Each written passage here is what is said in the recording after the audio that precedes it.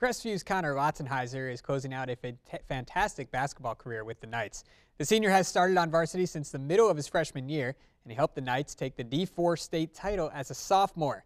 In 2014, Connor was the young guy on a senior-laden team, and as I found out in this week's OIO Prep Profile, this year he's one of three seniors leading a young group.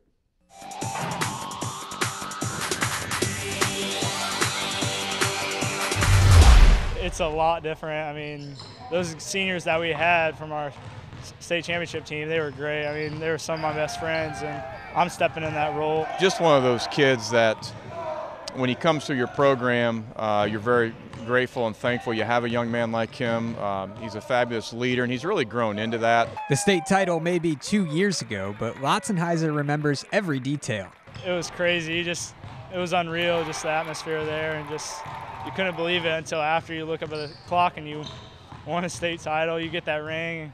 It's a great feeling.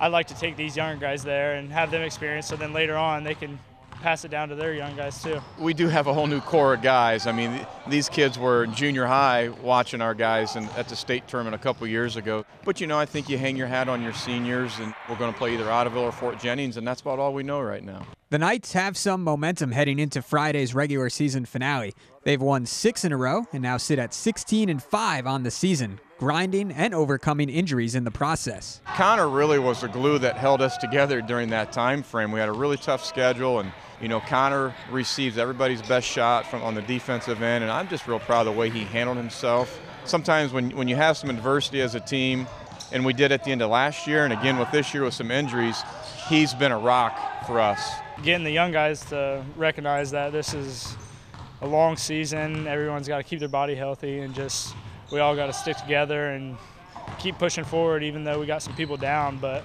I think everyone's coming around and wanting to do something great here. Earlier this season, Connor scored his 1,000th career point for Crestview. And earlier this week, Lautzenheiser committed to continue his basketball career next year at the University of St. Francis. Coach LaCross has a great program there. I mean, he's a great coach. They're moving everything in the right direction, and all those guys there. I mean, they just won the conference. He's going to have success there, number one, because he, he he's a competitor. Um, he's going to get it done in the classroom. He wants to win. He wants to play. He wants to compete. And St. Francis, I, I, think, stole one from somebody because I think they're getting a really good player, a quality individual, and uh, he's the kind of guy that you want to have in your program. He's going to make everybody better. In Convoy, I'm Matt Finkel for the Sports Report.